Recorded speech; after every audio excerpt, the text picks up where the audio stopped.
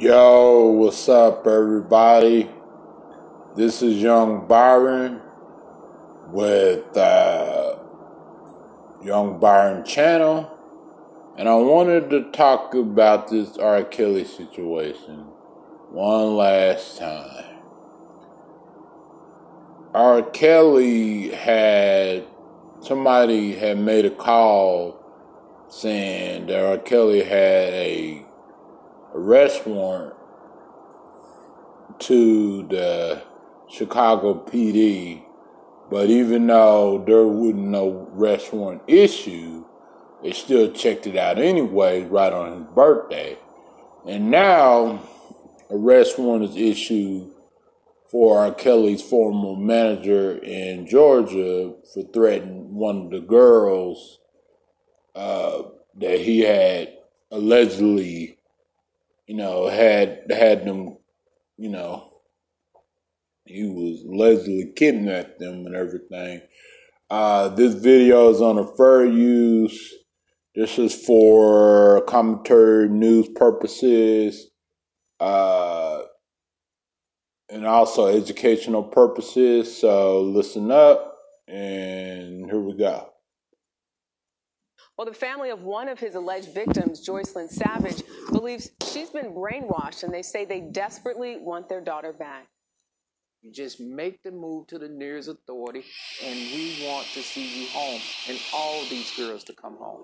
Timothy and Jonjelyn Savage say they have not seen their 23 year old daughter, Joycelyn, in person for more than two years.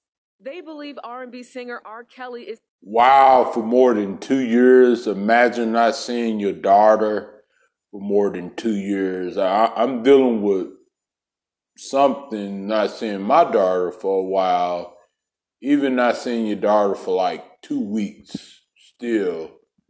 You know, can y'all imagine that, you know? But this situation is different than my situation. But uh, let's continue. Holding her and other women against their will, starving, beating, and sexually abusing them. Are you all confident that R. Kelly will in fact see criminal charges pressed against him? No. I believe his power numbers, and I pray that more young victims come out. Because of their persistent advocacy, Joycelyn's family says they were threatened by Kelly's former manager last May. According to this police report, that manager, James Mason, called Timothy Savage and said, When I see you, I'm going to get you. I'm going to expletive kill you. What? For real, they so his former manager threatened threatened him. That's crazy.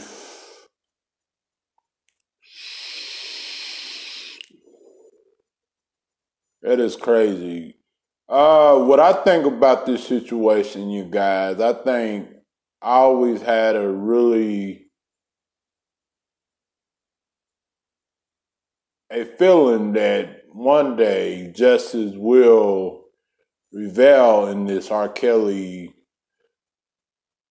uh, situation, these allegations against him, allegedly. But I, you know, of course, we all know that R. Kelly, you know, did it, but you know, they call it allegedly because they didn't have no other proof or anything like that. But uh, anyways, uh, yeah, continue. Joycelyn's family says she was a